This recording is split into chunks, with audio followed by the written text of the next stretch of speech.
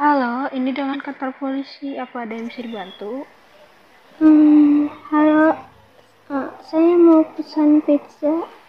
Ah, maaf, mungkin Anda salah menelpon. Ini kantor polisi. Ah, yang sedang aja. Soalnya cuma buat sekitar tiga orang doang.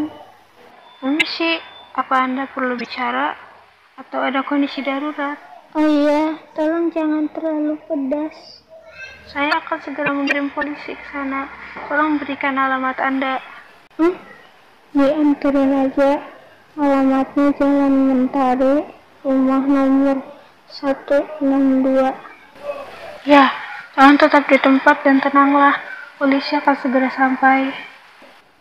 Hmm, kalau bisa aku minta tambahan mozzarella-nya. Polisi sedang ada di jalan.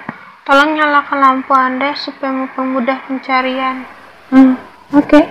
Lampu rumahku bakal aku nyalain. Aku udah pesen pizzanya. Kayaknya lagi di jalan.